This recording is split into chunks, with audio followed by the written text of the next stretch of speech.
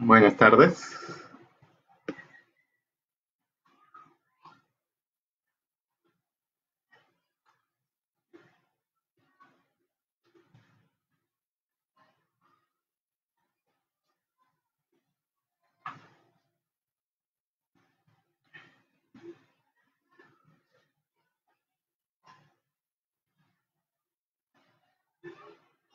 Buenas tardes.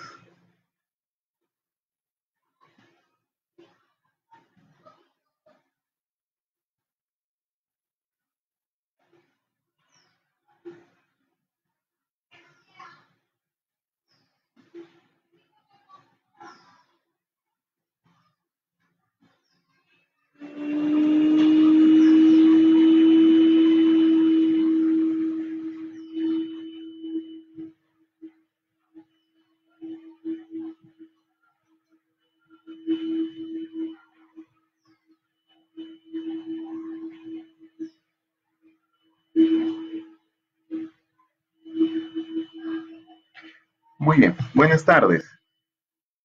Estamos hoy día sábado 18, 18 de abril, y estamos transmitiendo con el auspicio del Policlínico Rizo, que se preocupa por tu salud. El que habla es el doctor Juan González Angulo. Yo soy neumólogo del staff del Policlínico Rizo y eh, estamos pues realizando esas actividades, como decíamos, preocupándonos por la salud de ustedes y obviamente desde el hogar, ¿no? Desde el hogar, eh, tratando de, apoyar y, tratar de brindar orientación sobre todo a la población, sobre todo a la población que, que está pasando toda esta etapa de la, de la pandemia que estamos viviendo. Entonces, eh, vamos hoy día a tocar un tema muy importante como el que se ha programado, que son infecciones respiratorias agudas y neumonías en el adulto, que es un tema que ahorita está en boga tenemos pues esta situación actual, como decimos, de la pandemia, de la infección por el coronavirus, que prácticamente nos está impactando cada día más, con más casos. Estamos en una etapa donde el tema de, de la infección por el coronavirus es una infección comunitaria, una fase 4, donde cualquier infección respiratoria que se presente en una persona va a entrar como sospechosa de una infección por el coronavirus pudiendo serlo o pudiendo no serlo, dado que también estamos en una época donde el cambio de estación también nos lleva a que los problemas respiratorios empiecen a incrementar y los problemas respiratorios por otro tipo de afecciones, ¿no? dentro de ellas las infecciones por otro tipo de virus y por otro tipo de bacterias. Es por eso que es muy importante poder estar al tanto de la mayor eh, posibilidad de estar en esta etapa con infecciones respiratorias, de, otra índole, de otra causa, y poder estar también al tanto de cuáles afecciones o infecciones podrían ser también por coronavirus. Entonces vamos a empezar. Bueno, una infección, una infección respiratoria en esta etapa eh, es, una, es la invasión de nuestro organismo por un germen. Los gérmenes sabemos que pueden ser bacterias, pueden ser virus, pueden ser hasta parásitos, hongos. En el caso de las eh, gérmenes más frecuentes, como conocemos, son los virus y las bacterias. Los virus son eh, gérmenes pues, que afectan a buena parte de la población, sobre todo población infantil, población adulta también, y la población también adulta mayor.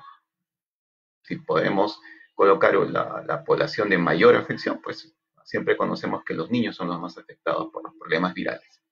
Y los problemas bacterianos, son otro tipo de gérmenes, eh, pueden afectar pues generalmente a adultos y adultos mayores con mayor eh, preponderancia.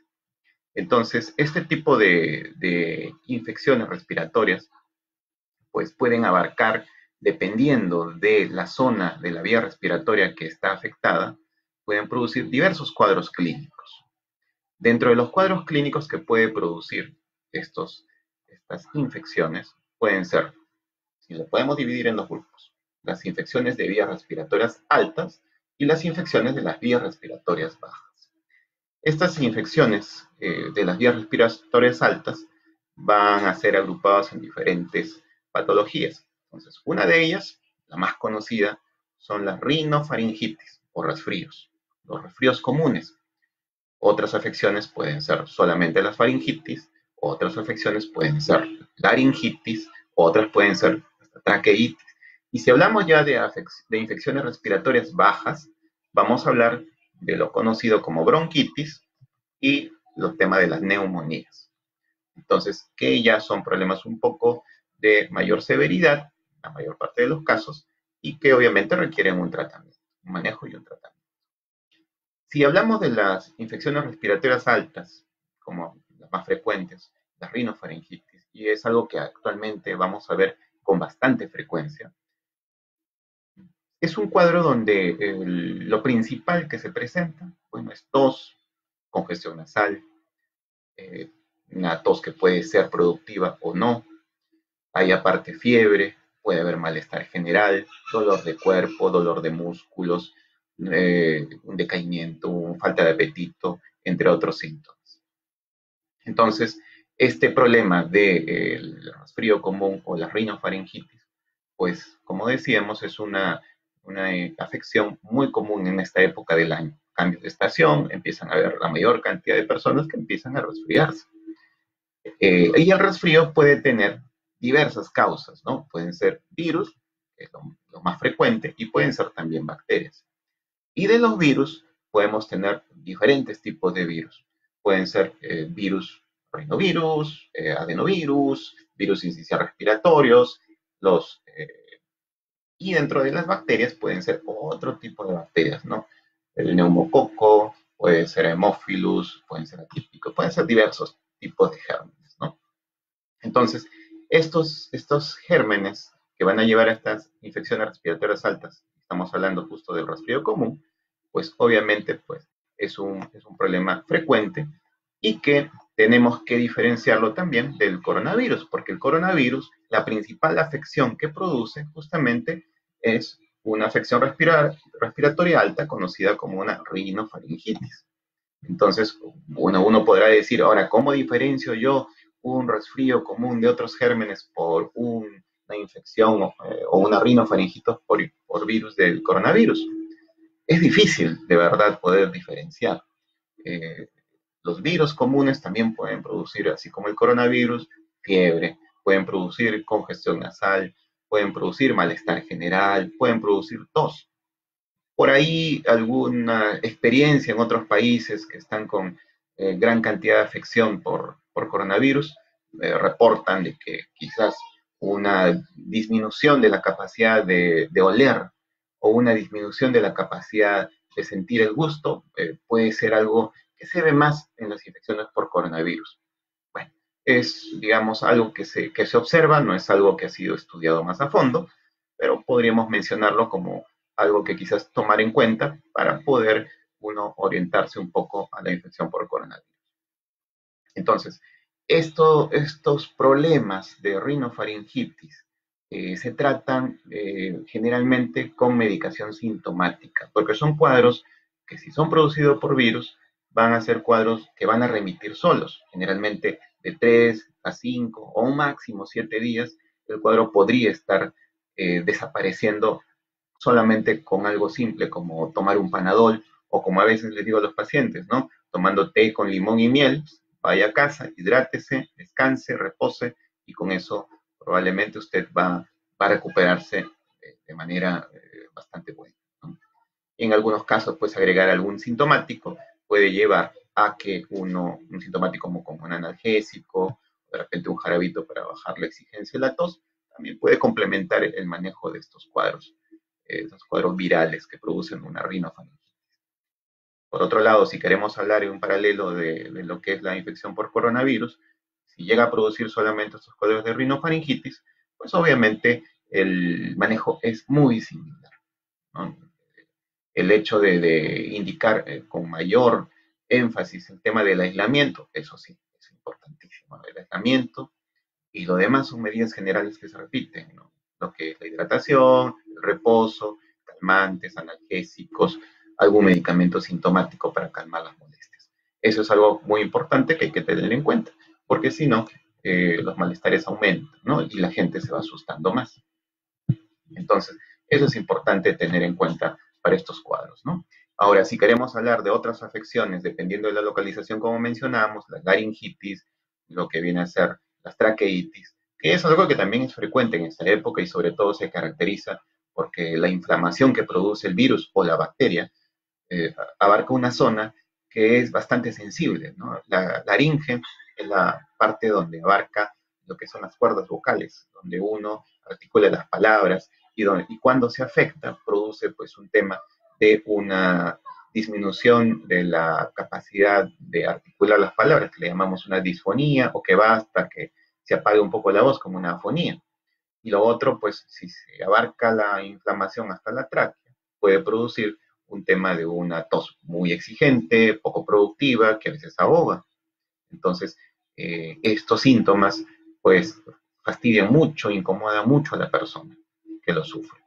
Entonces, es importante también poder eh, diagnosticarlo, diferenciarlo de las otras afecciones que se producen y poder dar el tratamiento. Si uno sospecha que es un problema viral, igual, calmantes, antitusígenos u otra medicación sintomática. Si uno sospecha que hay una infección bacteriana, pues agregaremos recién los antibióticos respectivos al Entonces, esto eh, hablando de lo que son las infecciones de vías respiratorias altas. Si queremos hablar de las vías respiratorias bajas, tenemos dos cuadros importantes. ¿no? Uno, las bronquitis agudas y otro, las neumonías. Entonces, eh, ¿cómo diferenciamos una de otra? Eh, los bronquios, como sabemos, son parte de nuestros pulmones. Son unos conductos que tienen una pared, una pared que tiene una mucosa, una mucosa que tiene ciertas particularidades y que ayudan a eh, poder llevar el aire que, entra por nuestra nariz o nuestra boca hacia la vía respiratoria y conducen todo este aire que lleva lo principal, que es el oxígeno, hacia la parte más distal de los bronquios, que son los alveolos, y ahí llega el aire con el oxígeno y se realiza un intercambio de gases, donde el oxígeno se queda en el organismo y los elementos tóxicos, como el anhídrido carbónico o el CO2, sale del organismo y pasa nuestra vía respiratoria en el alveolo y puede salir expulsado al exterior. Entonces, entra lo bueno y sale lo malo. Estos conductos que llevan el aire, que son los bronquios, cuando se afectan por una infección se van a inflamar. Y si se inflaman, van a producir, pues, el tema de la tos, van a producir expectoración, es decir, secreciones que se van a expulsar al exterior, y van a producir pues dificultad respiratoria en algunos casos cuando la afección y la inflamación es mucho más intensa. Entonces, esto lleva pues a traer mucha incomodidad también en la persona y que obviamente pues hay que diagnosticarlo y que puede tratarse, ¿no? Dependiendo de la etiología que uno sospeche o que uno pueda probar con exámenes.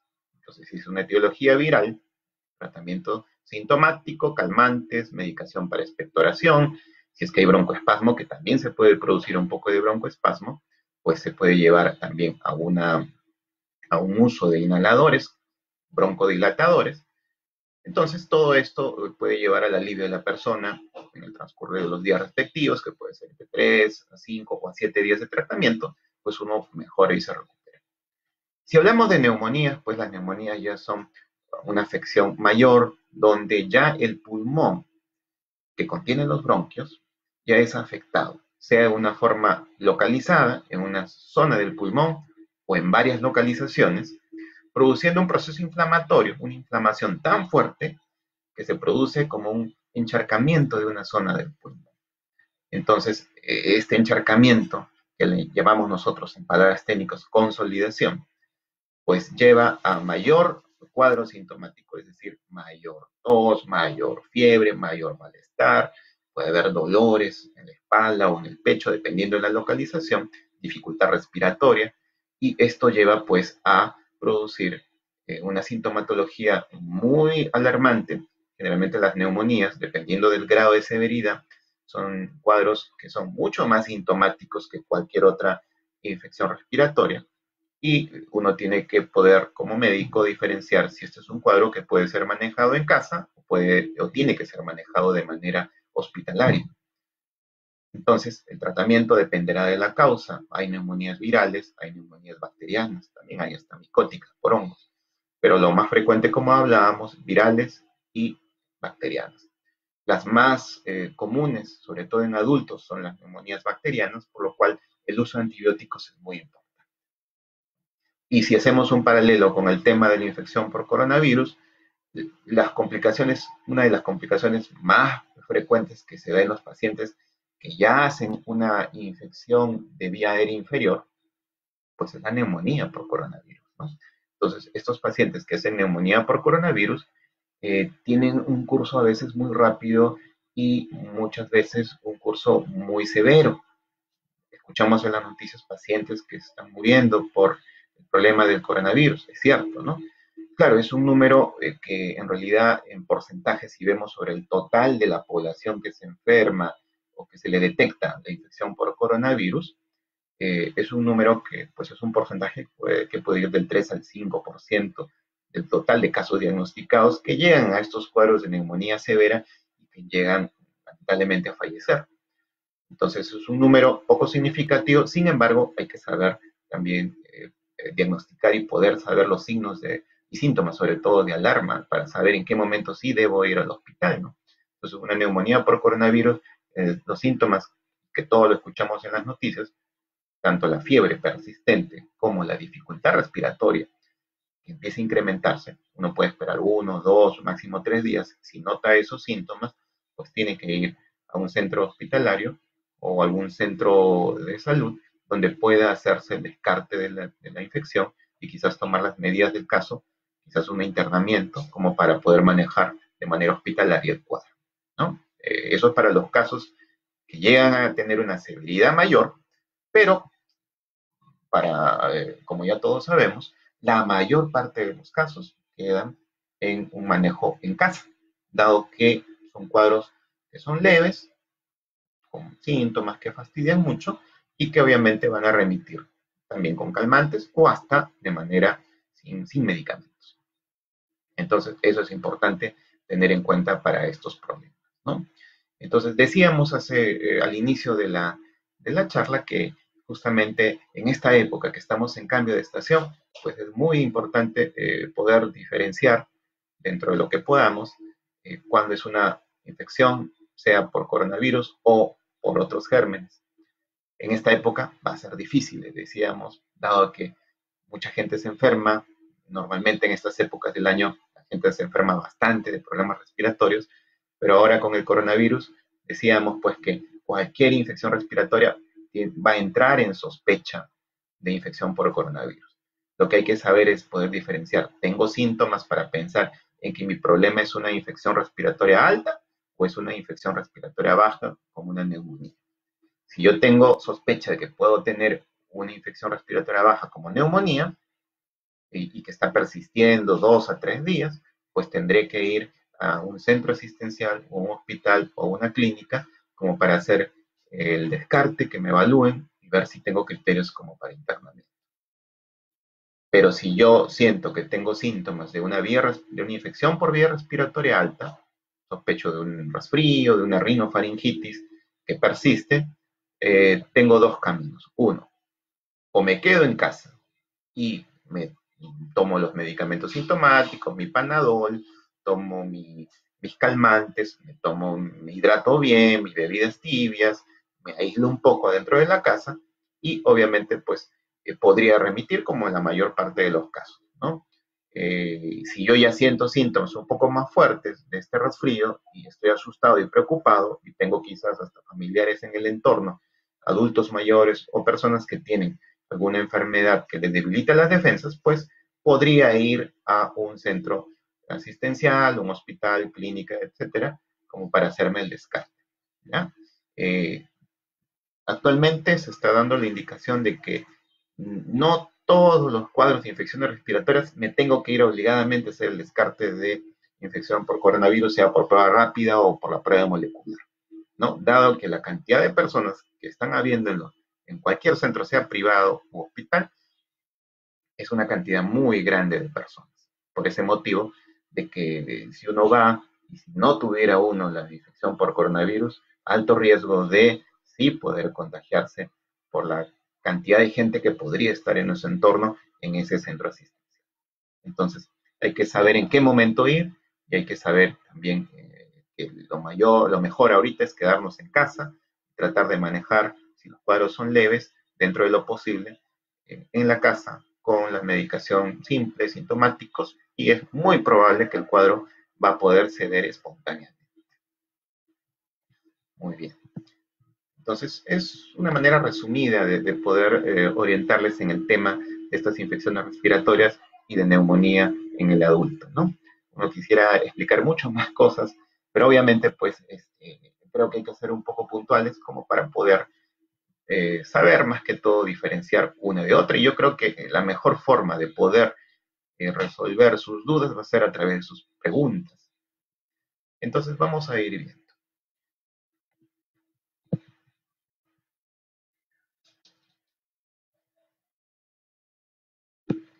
Hay una pregunta de eh, Liliana Valle que nos menciona sobre si yo sufro de una infección respiratoria, ¿puedo tomar antibióticos?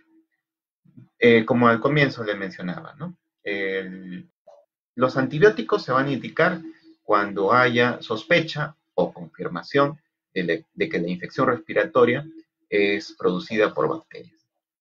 ¿Cómo yo puedo sospechar? Eh, obviamente, pues con una evaluación médica. Pero, obviamente, en estos tiempos es difícil acceder a un consultorio privado o de hospital para que me puedan evaluar hay que ver la manera más práctica de resolver esta, pregunta. Entonces, yo como explico a mis pacientes que me llaman por teléfono justamente cuando están con un cuadro así. Si usted tiene un cuadro que está con tos, con dolor de garganta, que está con congestión, empecemos con medicación sintomática. Tome sus calmantes, tome su panadol. Espere un par de días, dos a tres días máximo. Si usted siente que la tendencia del cuadro es a mejorar o a disminuir y que la fiebre va resolviéndose poco a poco, pues este es un cuadro probablemente viral, por lo cual es mejor que, siga con los sintomáticos, siga hidratándose, siga también aislado en la casa para disminuir la posibilidad de contagiar a los, a los familiares o al entorno cercano, y con eso yo creo que eh, podría encaminarse muy bien.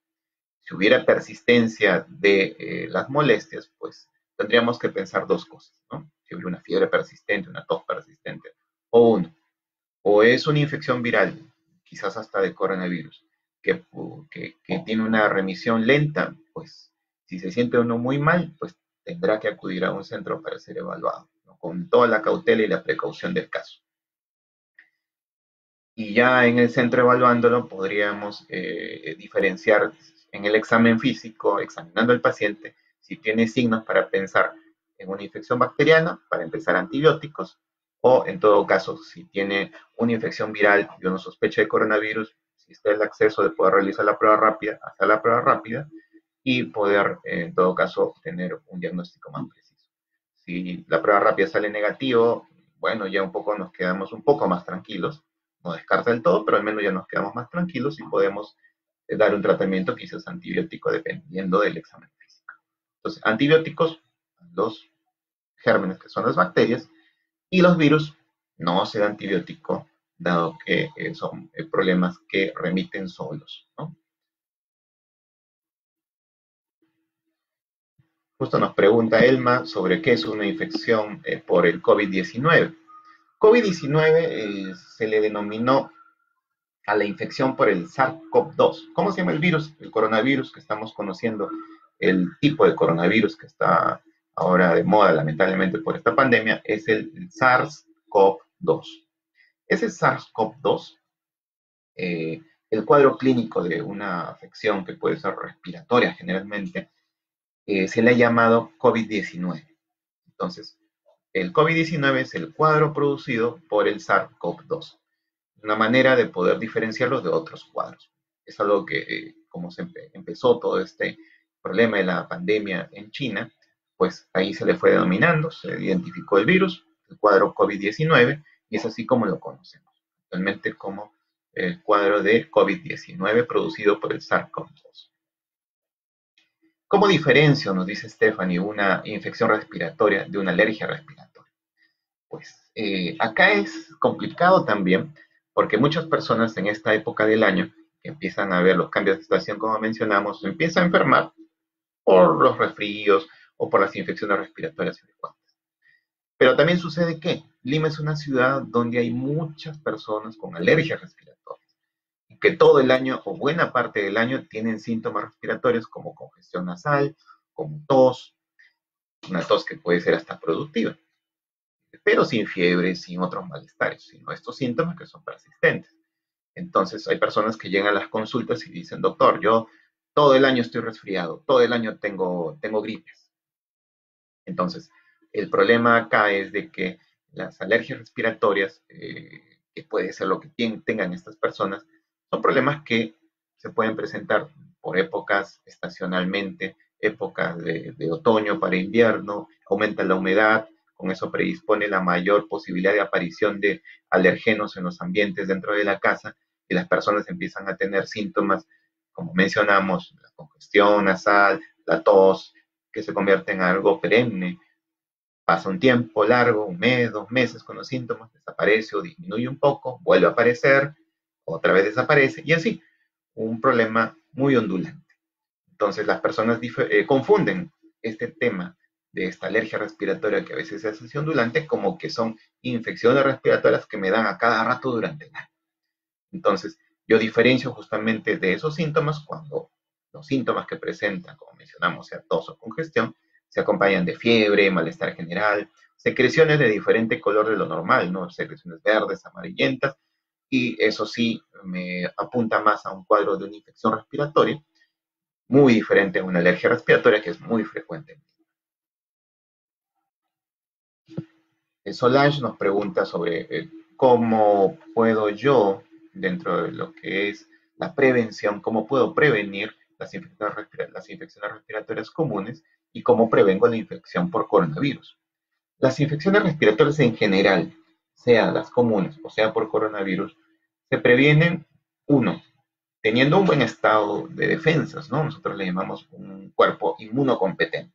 Pero bueno, palabras sencillas es un buen estado de defensas en mi organismo. ¿Cómo lo, lo logro? Buena alimentación, y si tengo alguna enfermedad, controlando mis enfermedades. Si soy diabético, teniendo bien controlada mi diabetes.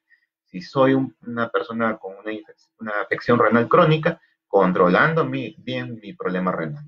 Y así, cualquier problema donde mis defensas estén bajas, tratar de mantenerlo bien controlado con el tratamiento que el especialista me indica.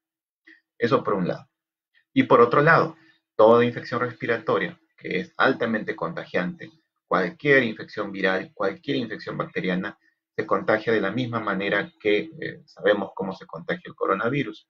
Es por eso que es importante también, igual, el distanciamiento de las personas que están en mi entorno cercano, el lavado de manos frecuentemente y cubrirme la boca y la nariz con algo que pueda evitar, como una barrera que pueda evitar que los gérmenes que salen en aerosol o que salen en pequeñas gotitas al exterior pueden impactar en las personas del entorno cercano. Entonces, esa es la mejor manera de prevenir el tema de cualquier infección respiratoria. En nuestro medio nos pregunta Bren López de que si son frecuentes las infecciones respiratorias, sí, son bastante frecuentes. Estas épocas del año, como mencionábamos ahora, entre marzo y abril, generalmente los problemas respiratorios son bastante frecuentes, empiezan a crecer en cantidad y las personas empiezan a hacer colas en los centros asistenciales, sean privados o públicos, ¿no? Entonces es muy frecuente el tema de las infecciones respiratorias. Ana Iri nos pregunta si podemos usar las mascarillas de tela que están vendiendo a falta de las especiales. Es un tema, eh, como ya mencionó hasta el ministro de Salud, que es un tema pues que está eh, impactando en la población. Uno, por la escasez de las mascarillas simples de protección que cubren la nariz y la boca, y por un tema pues de que si uno las encuentra, así es escaso, y por otro lado, si uno las encuentra, están sobrevaloradas, el valor ha crecido pues inmensamente de lo que normalmente costaba. Entonces, las mascarillas de tela, que es algo que también se ha recomendado en algún momento, pues cumple su labor más que todo en el tema de producir una barrera, eh, tapando la nariz y la boca, una barrera para que no salgan las gotitas al exterior. Entonces, eso es importante tenerlo en cuenta. Entonces, cumplen una labor una función muy similar a las mascarillas eh, que se usaban, las, las, que sí están probadas y que obviamente pues brindan una labor de tanto protección para evitar que salgan las gotitas o los aerosoles al exterior y también cumplen una función de barrera para la persona para evitar que uno aspire, inhale eh, un poco de aerosoles contaminados con eh, cualquier virus o bacteria, en este caso el coronavirus. Así que la, función que cumplen estas mascarillas de tela es algo que sí, eh, no va a ser igual a una mascarilla fabricada con todas las especificaciones técnicas que, que se tienen que tener en cuenta para brindar la protección, pero al menos si es que no se cuenta con las otras, pues las de tela pueden brindar alguna ayuda de barrera, sobre todo para que esas gotitas no salgan al exterior y no contagiemos a otras personas.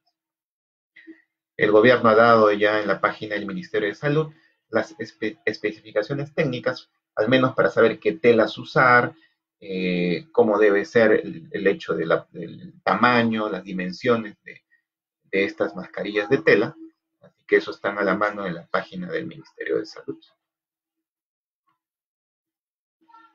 Giselle nos pregunta sobre qué diferencia hay entre neumonía común y una neumonía por coronavirus. Mencionábamos justamente eh, el tema de que en general las infecciones respiratorias son difíciles de diferenciar, pero hay ciertas particularidades en las neumonías. Si una persona lamentablemente llegue a un cuadro de neumonía, pues una neumonía común, que como mencionamos tiene síntomas más aparatosos, fiebre, malestar general, tos, eh, decaimiento, una persona hasta dificultad respiratoria. Eh, una neumonía por coronavirus se comporta también muy similar, pero en la práctica estamos viendo pues que en la mayor parte de las veces la dificultad respiratoria está siendo un síntoma muy importante en estas neumonías por coronavirus. La dificultad respiratoria ya es un indicador de que el paciente eh, podría ir mal. La fiebre persistente también puede ser un indicador eh, que si es una neumonía por coronavirus también podría ir mal. Entonces, estos síntomas son quizás muy llamativos en la actualidad para poder uno orientar de que podría ser una, una neumonía por coronavirus y que su progresión podría ser a una progresión mala. La neumonía por coronavirus se está viendo también que en muchos casos está siendo de un comportamiento muy acelerado. Los síntomas van cambiando a mayor severidad eh, muy pronto, ¿no? A diferencia de una neumonía común que nos puede dar chance a ir viendo los síntomas y empeora, tomar decisiones, tratar de mejorar eh, los cambios eh, que va presentando en cuanto a los síntomas. En neumonía por coronavirus, pues los síntomas a veces nos ganan, empiezan a cambiar bruscamente, una dificultad respiratoria que aumenta rápidamente, una fiebre que empieza a incrementarse más, síntomas como tos, decaimiento que empiezan también a, empeorar rápidamente. Es lo que estamos viendo nosotros en la práctica. En, China, eh, de acuerdo a la estadística y a la casuística que ellos tuvieron, sacaron de que eh, la fiebre y la tos y la dificultad respiratoria eran los síntomas más frecuentes que se veían en los pacientes. En el caso de nosotros, pues estamos viendo que el fiebre se presenta, pero no, no es lo muy característico, o pudiera ser una fiebre, pero no a, niveles muy altos. Eh, subfebril generalmente es en el paciente, pero lo que más llama la atención es la dificultad respiratoria en estos casos.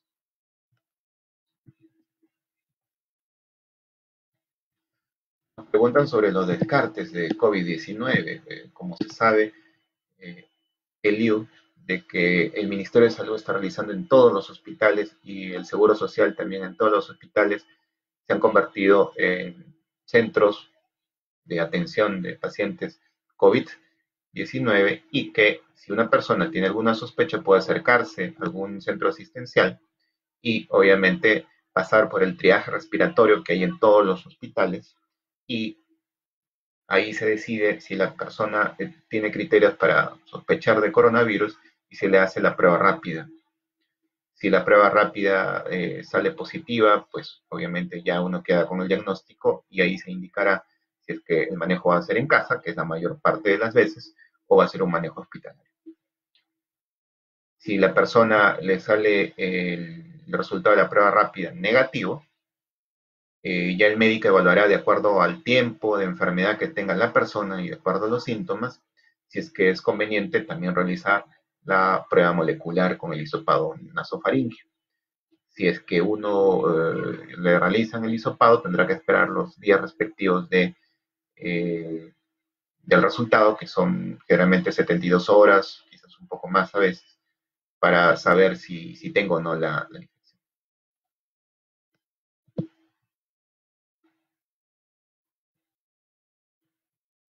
Mencionan también si las personas adultas son más propensas a contraer infección por coronavirus.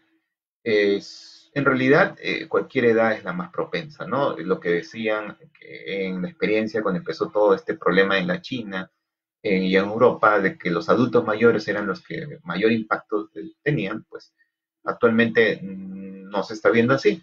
Dentro de lo que se ha visto en las estadísticas en esta parte del continente y sobre todo en el Perú, es de que la población de que mayormente da resultados positivos es la población adulta dentro de un rango de edades de los 30 hasta los 50, 60 años. Y la población adulta mayor es el segundo grupo que se infecta y en último lugar los jóvenes y después los niños. Entonces, nuestra población adulta, sobre todo adulta que estaba activa económicamente, las que trabajan, los que están eh, digamos, cabezas de familia, pues son los que están teniendo mayor impacto. Y si queremos diferenciar quién se enferma más, hombres o mujeres, los hombres son los que se están enfermando más. También nos preguntan sobre el tratamiento de la neumonía, ¿cuánto dura? Eso es relativo. Una neumonía está, generalmente una neumonía común, se puede tratar entre 5 a 7 días, dependiendo de la severidad del cuadro. En algunos casos quizás el tratamiento demora más, pero generalmente el estándar es de 5 a 7 días. Si queremos eh, una neumonía por coronavirus, también 7 eh, días es lo mínimo de tratamiento, sea con los medicamentos que actualmente están, están en ensayo, eh, ensayos clínicos en el mundo, pero que por la necesidad se están utilizando, que es la hidroxicloroquina y la citromicina, eh, igual son 7 días, máximo 10 días que se da el tratamiento, sobre todo con hidroxicloroquina. Muy bien. Nos preguntan también sobre eh, Julia, eh, si aparte del COVID-19 hacen otros tratamientos, cirugías, gastroenterología en vuestro policlínico. Sí, bueno, como saben, nuestro policlínico actualmente eh, no está realizando las atenciones como normalmente las atendían, obligados por acatar las órdenes pues, de nuestro gobierno en cuanto a las restricciones y ahora la cuarentena respectiva está cerrado. Sin embargo, estamos esperando que apenas se levanten las restricciones y podamos entrar otra vez en el trabajo de apoyo a las personas en todas las especialidades. Tenemos en el policlínico todas las especialidades eh, tenemos, en cuanto a su pregunta, si hay otros tratamientos, cirugías, área de gastroenterología, tenemos consultorio de cirugía, tenemos consultorios de gastroenterología. Entonces, en cuanto se abran las puertas nuevamente de atención, pues bienvenido. Eh, los pacientes que quieran elegir al Policlínico Rizo como su centro para poder atenderse, van a recibir la mejor atención y obviamente pues una atención de calidad.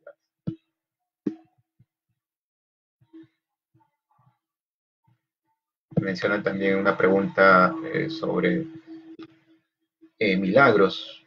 Vamos ya haciendo las últimas preguntas para poder eh, terminar con, con, la, con la disertación. Pues Milagros nos preguntaba sobre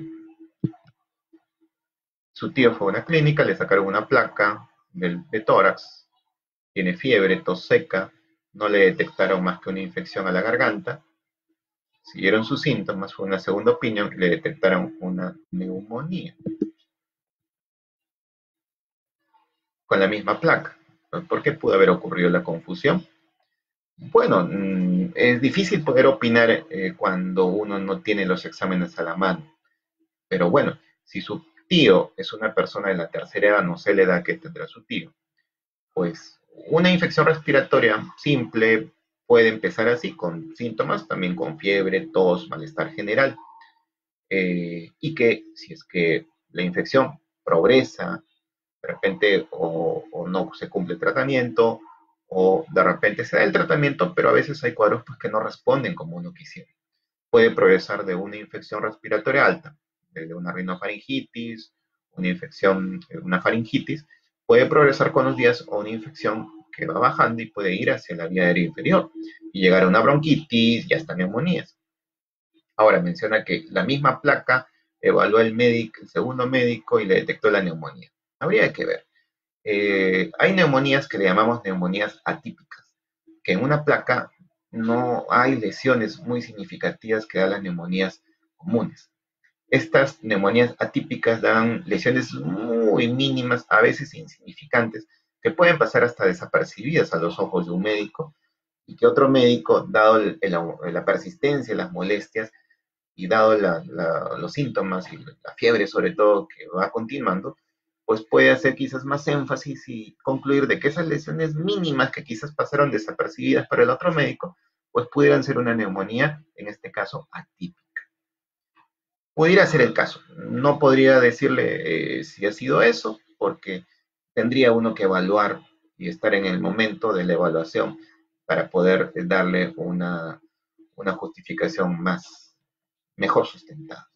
Pero lo importante es que si ha sido diagnosticado en el segundo momento como neumonía, pues que recibe el tratamiento respectivo. Seguramente y con eso debería estar mejor. Vamos a responder una, última pregunta, pues. Mm, la neumonía es contagiosa. Toda infección respiratoria, pues, es contagiosa. Muy bien. Entonces, eh, yo creo que con esto estamos culminando nuestra sesión. Pues, eh, gracias por, esta oportunidad. Gracias al Policlínico Rizo que auspicia todas estas disertaciones a través de la tecnología ahora, como el Facebook Live y poder haber resuelto algunas preguntas suyas. Les agradezco. El Policlínico Rizo, pues, como saben, está, se encuentra en la avenida Arequipa, 19992, y obviamente, pues, apenas se abran las puertas del Policlínico, estaremos, pues, muy prestos a realizar las atenciones de ustedes. Vamos a continuar actualmente, mientras no se abra el Policlínico, con todas estas sesiones, con diversos temas, que por favor les invitamos a revisar la página web, el Facebook del Policlínico Rizo, eh, redes sociales, para que puedan enterarse de la programación eh, que tenemos de diferentes, diferentes temas que diversos especialistas altamente calificados pues van a brindarles para orientarlos en esta época pues que no tenemos consultas ambulatorias y que al menos nos van a servir para conocer más también nuestras propias enfermedades y poder orientarnos en qué hacer en estas etapas que estamos a veces sin tratamientos o estamos con dudas en cuanto al manejo que hemos tenido siempre. Entonces, les agradecemos eh, que hayan estado al tanto de, nuestra, de nuestro Facebook Live y seguramente estaremos en otra oportunidad contactándonos para resolver más inquietudes en diversos temas de la neumología. Muy bien, muchas gracias. Estén muy bien y cuídense en esta época que todavía tiene para durar un poco más en cuanto a este tema del coronavirus.